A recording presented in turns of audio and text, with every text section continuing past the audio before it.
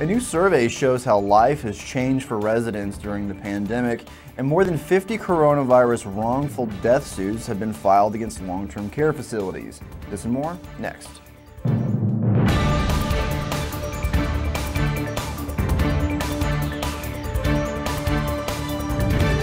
You're watching LTC News with Dane Henning. Welcome to CNA TV Long Term Care News. I'm Dane Henning. Today is Wednesday, October 7th, 2020. To stay in the know of long term care news, be sure to like, comment, and subscribe to our YouTube channel. Nearly two thirds of nursing home residents do not leave their rooms to socialize anymore since the onset of the coronavirus pandemic, a new survey by healthcare research group Altarum has revealed.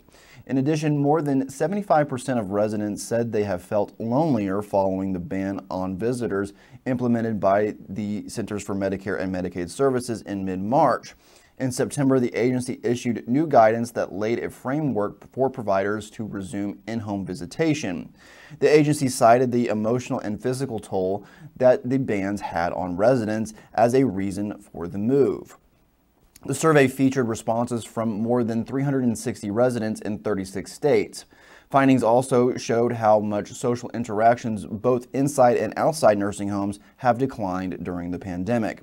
54% of residents said they aren't participating in any in-home organized activities, while just 13% said they are eating their meals in the dining room.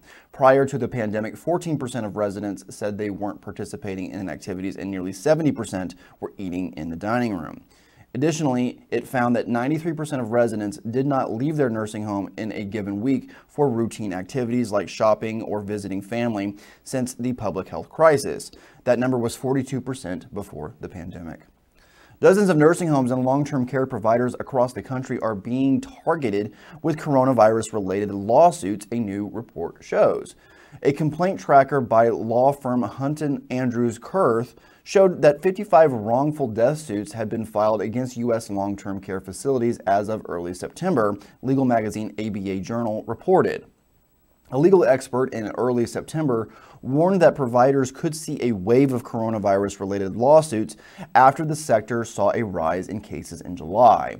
Most of the lawsuits center around claims that staff members didn't disclose information about COVID 19 cases within their facility, infection control practices, and the health status of residents before their death, according to the report.